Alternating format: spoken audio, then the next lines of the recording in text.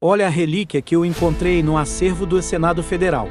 Adivinhem quem era o presidente da República nessa época?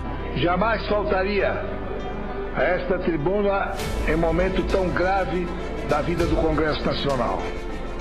Do presidente da República, que incentiva os anarquistas que aí estão, que tiraram retrato, inclusive, com o doutor Cibá, como aparece aí na foto. São esses desordeiros. Não podemos viver a anarquia. É melhor que o Congresso se feche. Palácio do Planalto, onde está o maior ladrão do Brasil, que é o presidente da República.